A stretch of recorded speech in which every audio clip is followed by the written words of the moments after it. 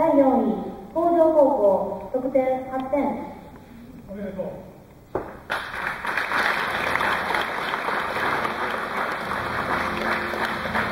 第3位淡路高校得点8点おめでとう。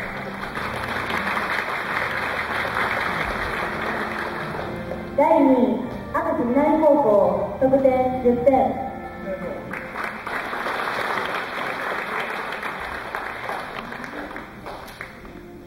第1位明石北高校得点22点表彰第1位得点22点。少年男子団体高知北高等学校。あなたは第63回兵庫県立体育大会 VCC 競技選挙大会において当初の成績をやりました。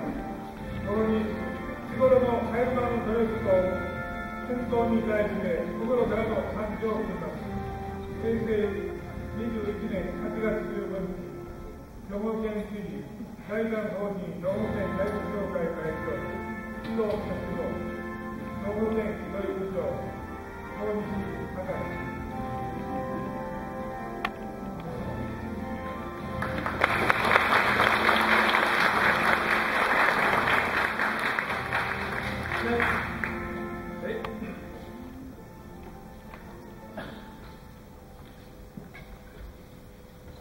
整えてお戻りください。続きまして青年男子の団体の表彰式を行います。代表は1列前へ出てください。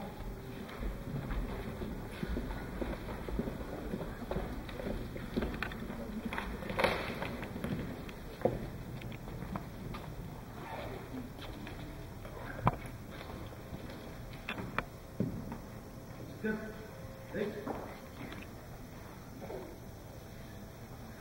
彰台にお上がりください。第3位天理大学職員得点4点。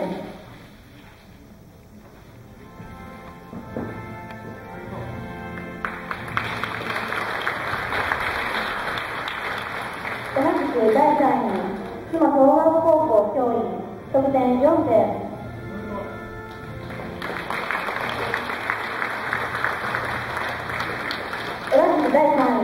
明北 OB クラブ得点4点。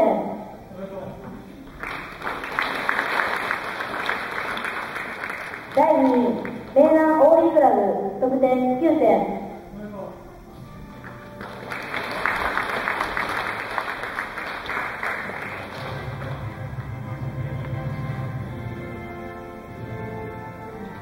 表彰第1位得点10点。青年男子団体徳川岡 OB クラブ理科動物地域協力隊おめでとう。